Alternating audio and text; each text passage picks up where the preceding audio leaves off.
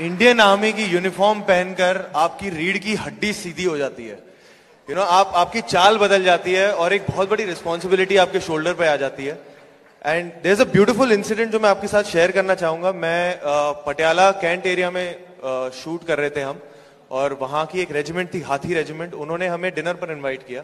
And uh, काफ़ी young cadets थे captain थे लेफ्टिनेंट्स थे मेजर्स थे सारे वहाँ पे मौजूद थे। They were very sweet and हम काफ़ी समय हमने स्पेंड किया, रात के दो तीन बज गए थे एंड फिर उन्होंने मुझसे पूछा, अरे यार, तुम्हारा कल का क्या प्लान है? मैंने कहा, यार कल छुट्टी है, बहुत दिनों बाद तो हम आराम करेंगे।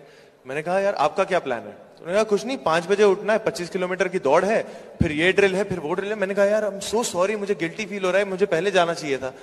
And he said something which I will never forget in my life he said with smile on his face कहते अरे विकी कोई दिक्कत नहीं हम रो आज को आज की तरह जीते हैं क्योंकि हमें नहीं पता कि कल हमारी तस्वीर कब अखबार में आ जाएगी.